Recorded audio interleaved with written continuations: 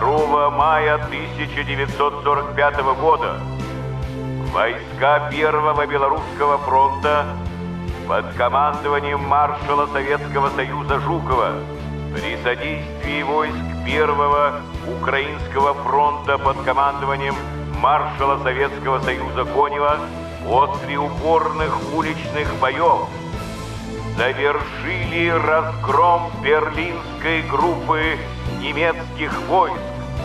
И сегодня, 2 мая, полностью овладели столицей Германии, городом Берлин. Берлинский гарнизон, оборонявший город во главе с начальником обороны Берлина, генералом от артиллерии Мейдлингом и его штабом, 2 мая в 15 часов прекратил сопротивление, сложил оружие и сдался в плен. 2 мая взято в плен более 134 тысяч немецких солдат и офицеров.